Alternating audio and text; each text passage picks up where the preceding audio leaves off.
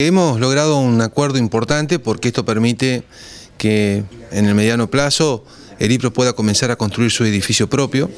en, la esquina de la calle eh, Roca y Belgrano, donde funciona una playa de estacionamiento, un terreno de unos 1.800 metros cuadrados, que la provincia oportunamente había eh, transferido al Ministerio de Educación de la provincia. Eh, a los fines de que, bueno, de que Educación eh, a su vez pueda transferirle esto al IPROS, nosotros eh, desde la legislatura le hemos dado al Ministerio de Educación un terreno de unos 4.000 y pico metros cuadrados que está detrás de la Escuela Industrial de Viedma, que esto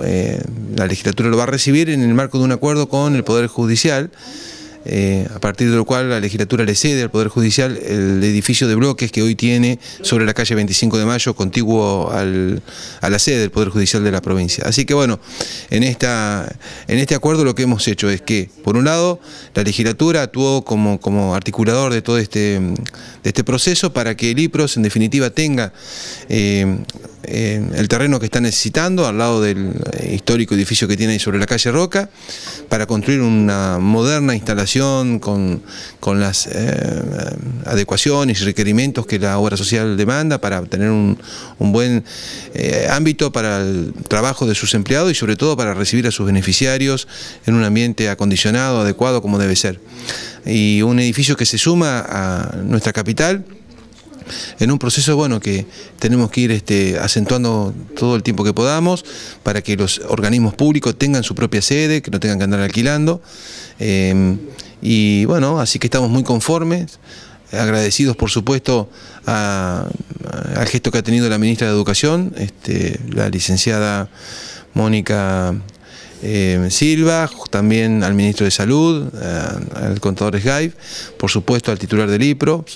al contador Ayestarana, a los vocales, al vocal gremial, al vocal gubernamental, a todos los que han intervenido en este proceso. Así que bueno, hemos conformado todo lo que hacía falta para que podamos eh, ya mismo anunciar que el IPROS va a contar en Viedma con su propio edificio, que vamos a comenzar a construir un edificio propio para el IPROS, que esto significará, por lo pronto, trabajo para los trabajadores de la construcción